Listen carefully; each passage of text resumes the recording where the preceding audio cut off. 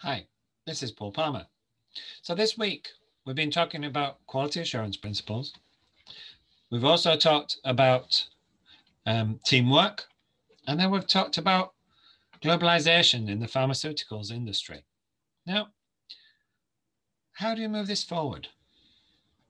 So one of the tools that I like to use for throughout this um,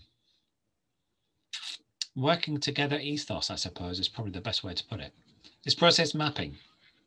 Now, I say process mapping because it's not just about the SOPs. It's not just about the team within this within um, one site or one department. It's about the overall process. So how can you use a process mapping? How how do you do it? Well, you can use PowerPoint. Just use the boxes. You can use the symbols that we've got behind us, the ones that I've got here. So this one here, the diamond, is a decision point. You've got the ovals, starts and ends. You've got squares. You've got all different tools that you can use different shapes. But when's it useful? Well, think about globalization of the pharmaceutical industry. The supply chain is throughout the world. And if you're going to manufacture in one country and supply to another and supply then forward on to another and, and different things happen in different countries.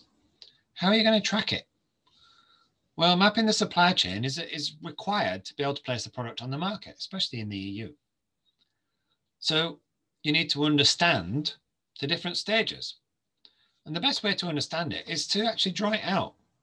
Don't write a massive long paragraph that you're going to submit to the regulators draw pictures. This country, then this country, then this country, then this country. And this is what happens at each stage. And this is where it's placed on the market. End of story. And using a simple diagram instead of three paragraphs of text will actually get better comprehension from the people that you're trying to communicate with than if you just give them the text. Now, similarly, if you look at a work instruction or an SOP, and you look at the different stages throughout that process, because it is again a process, you can use the same tool. You can use the same diagram, the same flowchart. You go step by step. You even use the same shapes. Oval to start, diamond for a decision, square for an activity, and of course, there's a whole load more if you use Visio. But they're the basics. It's much, while I'm talking about it, I'll just give you the basics. So what do you do? Well, this is where the process starts. This is where the process ends. But what about all the steps in between?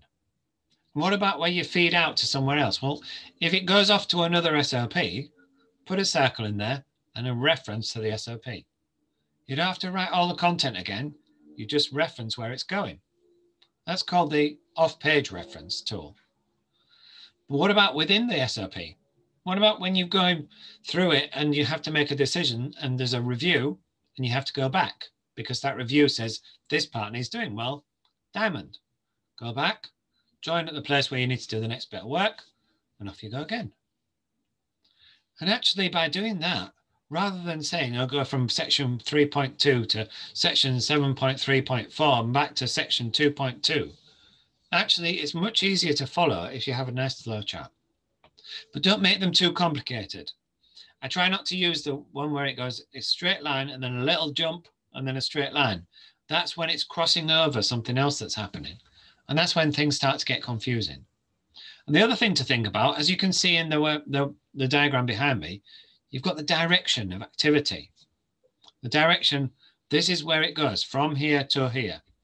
If it goes both ways, it can go back again. Maybe you have a feedback loop rather than bi-directional, because it's when you get a bi-directional arrow, it gets confusing. So where else can you use the process flow map, process mapping? Well, what about the flow of the uh, materials, the flow of the people? Well, it's not quite the same approach, but if you draw out the actual location where you are and you do color and you map it with a with a line, you can see where people can go. And you can see why they would go that way and why they would go somewhere else.